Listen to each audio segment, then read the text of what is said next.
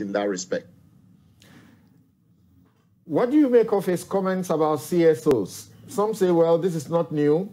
In 2018, he launched an attack on the CSOs, and they have become familiar with a sitting president attacking CSOs.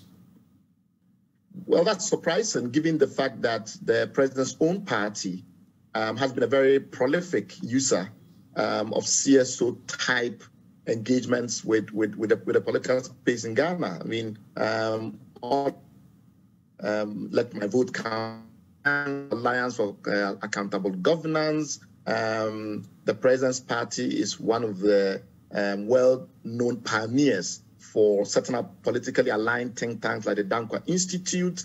Um, it dates back even before the transition into multi-party rule with the Young Elephants Club and a whole bunch of civil society type engagements. So if the president all of a sudden um, feels uncomfortable about the work of the CSOs, I'll presume that that is because in some instances those activities are not aligned with his political interest. And it's natural to expect that a political actor will not be too happy if there are other actors that, you know, um, are hell bent on putting his government under strict scrutiny, some of which might have political costs. Um, so we're not that surprised. We just don't believe that he's sincere in his concern about CSOs, given the, the history as I've just narrated it. Um, we just think that um, it's understandable that if uh, CSOs uh, and, and, others of that ilk um, um, have are, con, con, uh, are undertaking activities that perhaps could have significant political cost for the president's party, um, it's natural that we will expect him to fight back. You just spoke about, or give us a list of some uh, CSOs that are clearly established by political parties or political party uh, or people who are politically exposed.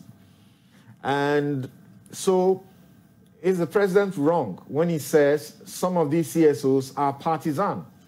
And I suppose we know that some of them are partisan. Some of them are just set up to do political propaganda. That's the actual CSO activity. I, we always uh, warn people to be very careful in the way that they characterize the civil society movement in Ghana. There are maybe 50,000 um, or so CSOs. The vast majority of them are community-based organizations focused on voluntary initiatives at the grassroots level, you know, helping young people get, get a step on the get their foot on the on the on the ladder, the the, the employment ladder. Um, a bunch of them are involved in um, cooperative type economic activity. We have CSOs that are primarily hometown associations. There's a wide diversity of CSOs. Within that very broad spectrum, maybe 1% of them are politically active. And of the 1% that are politically active, um, the vast majority of them are still um, locally focused. So mm. when it comes to nationally focused, politically active CSOs, we're talking about a very minute fraction of CSOs in this country. I'm not sure that when the president has concerns about CSOs, he has a concern about the 99% of, of, of CSOs that are generally community focused. He, he perhaps has concerns about CSOs on the political landscape.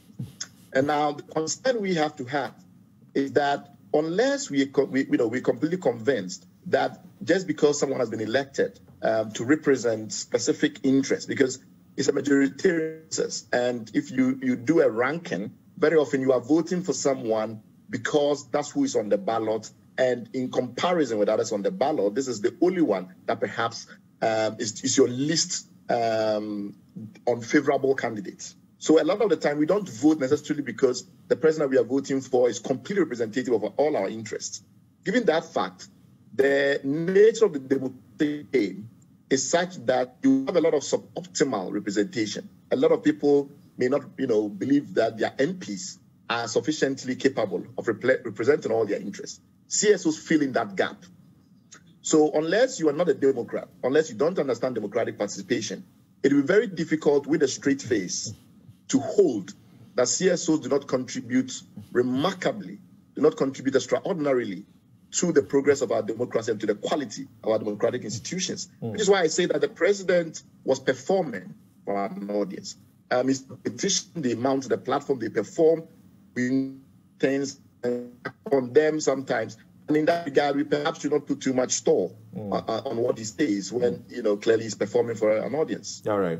Well, we know the president uh, relied heavily on Imani's work uh, ahead of the elections, uh, as in the election that brought him to power, and also work by Ghana Anti-Corruption Coalition and the rest of them